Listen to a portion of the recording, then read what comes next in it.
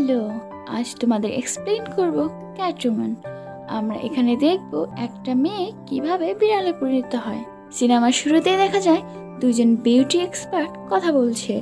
তারা সাবান কোম্পানির মালিক। এমন সময় তাদের মধ্যে একজন বলে, তাদের নতুন সাবান আর ক্রিম কবে লঞ্চ করবে? এর মধ্যে একজন মহিলা থাকে, যার নাম থাকে লরেল। তিনি ছিলেন এই কোম্পানির অ্যাম্বাসেডার আমরা এখানে দেখতে পাই লরেলকে বাদ দিয়ে অন্য একটা মেয়েকে অ্যাম্বাসেডার করা হয়েছে। এতে লরেল ভীষণ রেগে যায়, কিন্তু ও কাউকে কিছু বলে না। এরপরে দেখতে পাই এই কোম্পানির মালিক পেশেন্স নামে একটা মেয়েকে ডাকে। এই মেয়েটাই এই সিনেমার প্রধান চরিত্র। কোম্পানির মালিক পেশেন্সকে বলতে থাকে আমি অনেক টাকা দিয়ে ক্রিম তৈরি করেছি।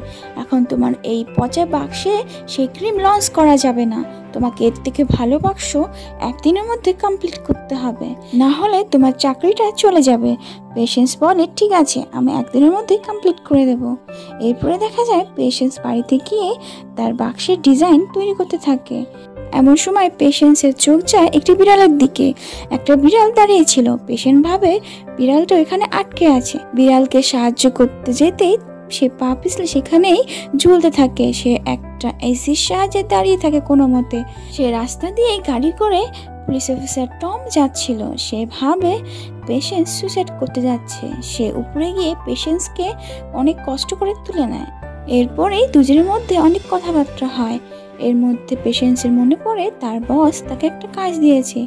সে সেখান থেকে তাড়াতাড়ি করে চলে যায় অফিসে। যাওয়ার সময় তার পার্সটা নিচে পড়ে যায়। তখন সেই টম সেই পার্সটা নিয়ে তার অফিসে যায়। পেশেন্সের অফিসে গিয়ে পেশেন্সকে তার পার্সটা ফিরিয়ে দেয়। সেখানে ওদের মধ্যে অনেক কথা হয় এবং খুব ভালো বন্ধুত্ব হয়ে যায়। তারা রাতে ডিনারের জন্য প্ল্যানিংও করে। তারপরেই দেখা যায় পেশেন্স তার কাজটা রাত ভরে খুব ভালোভাবে করে নেয় এবং তারপরেই তার বসের সহকারীকে ফোন করে তার ডিজাইনটা দেওয়ার জন্য। কিন্তু সে বলে সে এখন ছুটিতে আছে, তাই পেশেন্টকে গিয়ে বসকে সেই ডিজাইনটা দিতে হবে। যেখানে ক্রিম তৈরি হয়, সেখানে পেশেন্স তার ডিজাইনটা দিতে যায়। এদিকে দেখা যায় এক বিজ্ঞানী লরেন্সের সাথে কথা বলছে। সে বিজ্ঞানী বলছে, এই ক্রিমটা এখনও পুরোপুরি তৈরি না। এই ক্রিম ইউজ করার ফলে অনেকের স্কিনে অনেক সমস্যা দেখা দেবে এবং এর সাইড এফেক্টে স্কিন খারাপ হয়ে যাবে। আর আমি একজন সায়েন্টিস্ট আর আমি চাই না আমার জন্য কারও স্কিনে এত বড় প্রবলেম হোক। তাই এই ক্রিম এখন কোনোভাবে লঞ্চ করা যাবে না। এদিকে এই সব কথা পেশেন্স বাইরে থেকে শুনে নেয়। এদিকে পেশেন্সের একটা কিছুর সাথে ধাক্কা লেগে শব্দ হয়। এখানকার লোক বুঝতে পারে তাদের কথা লুকিয়ে কই শুনছে। এদিকে পেশেন্স নিজেকে লুকানোর জন্য দৌড়ে গিয়ে একটা জায়গায় লুকিয়ে যায়। এদিকে লরেল দেখতে পায় পেশেন্স টার্নালের মধ্যে ঢুকেছে। সে সেখানকার আসল দরজা বন্ধ করে দিয়ে তার মধ্যে জল ছেড়ে যায়। জলের মধ্যে থাকার জন্য পেশেন্সের মৃত্যু হয়ে যায়। সে গিয়ে একটা নদীতে পড়ে? সেখানে থাকা একটা বিড়াল পেশেন্সকে কিনারে নিয়ে আসে এবং সেখানে দেখা যায় আরও অনেক বিড়াল চারপাশে দাঁড়িয়ে থাকে একটা বিড়াল পেশেন্সকে চাটতে থাকে, এরপরে দেখা যায় পেশেন্সের চোখ পুরো চেঞ্জ হয়ে যায় এবং সে আবার বেঁচে ওঠে। এখানে ভাববার বিষয়, একটা ছোট্ট বিড়াল একটা মানুষকে কি করে বাঁচিয়ে দেয় সেটা আমরা পরে দেখতে পাবো। এদিকে পেশেন্স দূরের জিনিসও অনেক পরিষ্কার দেখতে পায়। তার কাছে সবকিছু অদ্ভুত লাগতে থাকে, কিন্তু সে এসব ভাবা বাদ দিয়ে বাড়ির উদ্দেশ্যে রওনা দেয়। সে তাড়াতাড়ি যেতে থাকে, তার মনে পড়ে বারোটার মধ্যে তার বসকে সেই ডিজাইনটা দিতে হবে। এদিকে তার বস লেট করার জন্য তাকে চাকরি থেকে বের করে দেয় সে রাগ হয়ে সেখান থেকে বেরিয়ে যায়। যেতে যেতে তার হঠাৎ মনে পড়ে, আজ টমের সাথে তার কফি ডেট ছিল। সে একটা কফি কেন সরি লিখে টমকে দেয় এবং তারপরে দুজনের মধ্যে কথাবার্তা থাকে। এরপরে দুজনে বাস্কেটবল খেলতে থাকে এবং সেই খেলার সময় পেশেন্স লক্ষ্য করে ওর শক্তি আগের থেকে অনেক বেশি হয়ে গেছে। পরে দেখা যায় পরের দিন পেশেন্সের ঘরে সেই বিড়ালটা থাকে। সেই বিড়ালকে দেখে পেশেন্স প্রথমে ভয় পেয়ে যায়। পরে বুঝতে পারে তার মধ্যে শক্তি ক্ষমতা এসেছে সেটা হয়তো বা বিড়ালের জন্য। তখন বিড়ালটার গলা থেকে সে বেলটা খুলে দেখে সেখানে মালিকের অ্যাড্রেস লেখা আছে।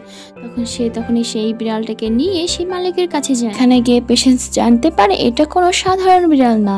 এই বিড়াল কোনো মৃত মানুষকেও জীবিত করে দিতে পারে। তখন পেশেন্স বুঝতে পারে সেদিন সে মারা যাওয়ার পর এই বিড়ালই তাকে বাঁচিয়েছে। এদিকে সেই বিড়ালের মালিক পেশেন্সকে একটা মাস্ক দেয় এবং সে বলে, তোমার পাওয়ারকে তুমি খুব ভালোভাবে ব্যবহার করো। এবং ভালো কাজের জন্য ব্যবহার করো। এরপরে দেখা যায়, পেশেন্স তার বান্ধবীর সাথে কথা বলছে। সে তার বান্ধবীকে টম আর তার সম্পর্কে সব বলছে। তার বান্ধবী তাকে একটা পোশাক উপহার দেয়, আর এই পোশাকটা ছিল একটা ক্যাটউইম্যানের পেশেন্স সেই পোশাকটা পরে বাইকে চড়ে টমের সাথে দেখা করতে যেতে থাকে। এমন সময় তার নজর পড়ে কয়েকটা চোর একটা জুয়েলারি দোকানে চুরি করছে। তখন পেশেন্ট সেখানে গিয়ে চোরগুলিকে খুব মারে এবং সে সব জুয়েলারিগুলো নিয়ে বাড়ি চলে যায়। পরের দিন সকালে জুয়েলারিগুলো তার আশেপাশে দেখতে পেয়ে সে ভাবতে থাকে সে ভুল করেছে। তার এই জুয়েলারিগুলো আনা ঠিক হয়নি। এখন পেশেন্ট গলার একটা হার রেখে আর সব জুয়েলারিগুলো একটা বেগে ভর্তি করে সরি লিখে পুলিশ স্টেশনে পাঠিয়ে দেয়। এদিকে দেখা যায় পেশেন্স তার মহিলা বন্ধুর সাথে দেখা করতে যায় হসপিটালে সেখানে গিয়ে সে জানতে পারে একটা রেডি হওয়া না সত্ত্বেও বাজারে লঞ্চ করা হবে। তখন পেশেন্স সেই ক্যাটউমেনের পোশাক পরে আর মুখোশ পরে সেই ফ্যাক্টরিতে যায়। সেখানে গিয়ে পেশেন্স দেখতে পায় যে বিজ্ঞানী ক্রিম নিয়ে কাজ করছিল তাকে কেউ মেরে ফেলেছে। এদিকে একটা সিকিউরিটি গার্ড এসে সে দেখে বিজ্ঞানী মারা গেছে। সে গার্ড ভাবে এটা হয়তো বা পেশেন্স করেছে। তখন সে অ্যালার্ম বাজিয়ে দেয়। এদিকে পেশেন্ট সবার থেকে বেঁচে চলে যায় সে লরেলের কাছে। লরেলের কাছে যাওয়ার পর লরের সাথে কথা বলে বুঝতে পারে ক্রিম কোম্পানির মালিক ক্রিমের সমস্যা থাকা সত্ত্বেও বাজারে লঞ্চ করতে যাচ্ছে। তাছাড়া লরেলকে অ্যাম্বাসেডর থেকে সরিয়ে দিয়েছে। এর আগে লরেল পেশেন্সকে জানায় সে মালিকের কাছ থেকে প্রতিশোধ নিতে যায়। তখন পেশেন্স আর লরেল দুজনে মিলে ঠিক করে মালিককে যে করে হোক সবার সামনে এক্সপোজ করতে হবে। তখন তারা দুজন একটা গ্রুপ হয়ে যায়। এদিকে লরেল পেশেন্সকে একটা ফোন দেয় যাতে তারা এই বিষয়ে আলোচনা করতে পারে। দেখা যায় টম জুয়েলারির চুরির ব্যাপারে ভাবতে থাকে। হঠাৎ তার চোখ পড়ে পেশেন্সের দেয়া কফি ক্যানের উপরে। সেখানে সরি লেখা আর সেই জুয়েলারি প্যাকেটে সরি লেখা তার একই মনে হয়। সে অনেক রিচার্জ করে দেখার পর বুঝতে পারে এটা হয়তো বা পেশেন্সই করেছে। তখন পেশেন্সের সব কিছু বের করার জন্য সে পেশেন্সের সাথে দেখা করতে যায়। সেখানে তাদের মধ্যে অনেক কথাবার্তা হয়। এরপরে দেখা যায় রাতের বেলায় পেশেন্সের বিরুদ্ধে প্রমাণ জোগাড় করতে থাকে। সে একটা গ্লাস খুঁজে পায়। টম গ্লাসটাকে লুকিয়ে নিয়ে যায়। এদিকে লরেন্সের দেওয়া ফোনটি হঠাৎ বেজে ওঠে। লরেল পেশেন্টকে বলে সেই মালিকের মধ্যে প্রমাণ খুঁজে পাওয়া গেছে। তখন পেশেন্ট সেই প্রমাণ দেখার জন্য লরেলের বাড়িতে যায়। সেন্স ক্যাটউইমেনের ড্রেসটা পরা ছিল পেশেন্সকে দেখে লরেল বলতে থাকে, সেই প্রমাণ পেয়ে গেছি। তুমি সোফার পেছনে দেখতে পারো। পেশেন্স প্রমাণ দেখার জন্য সোফার পেছনে গিয়ে দেখতে পায়, সেই মালিকটা মরে পড়ে আছে।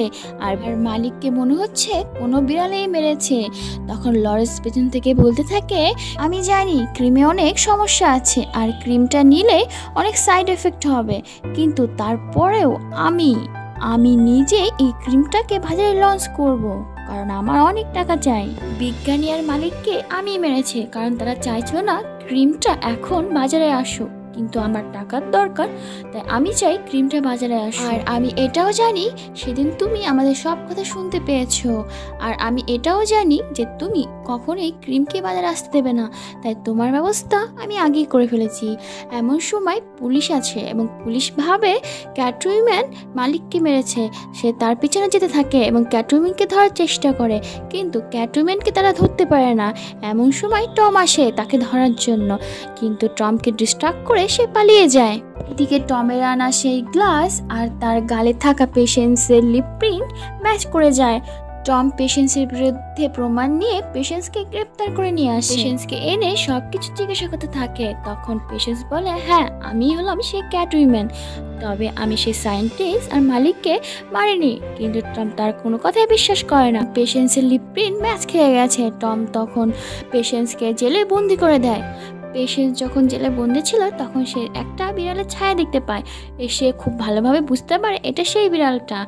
রডের মধ্যে দিয়ে পেশেন্সের কাছে আছে। পেশেন্ট তখন ভাবতে থাকে, বিড়ালটা যদি আসতে পারে তাহলে আমিও এই রডের মধ্যে দিয়ে পাড়ি যেতে পারব।